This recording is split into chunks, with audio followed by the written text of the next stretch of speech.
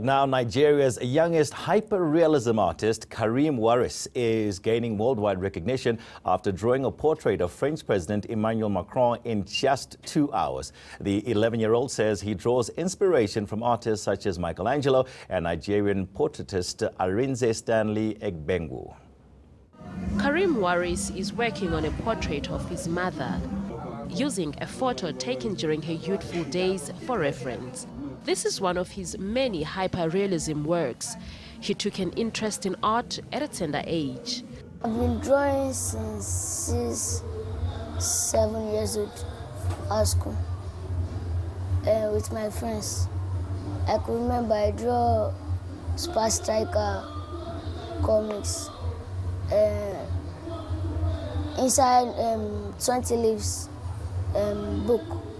So I started drawing professionally at the age of eight, nine years old.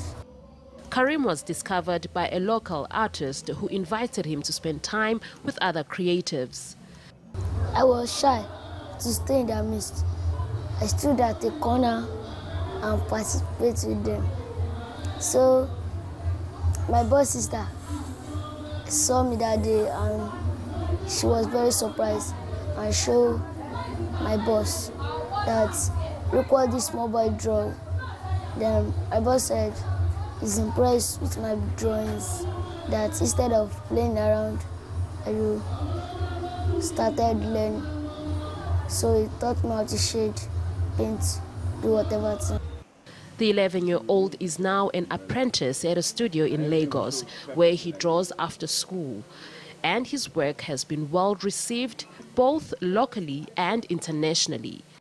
And I think that someone like him that has this much talent at this age and able to express it so precisely, he has a great opportunity.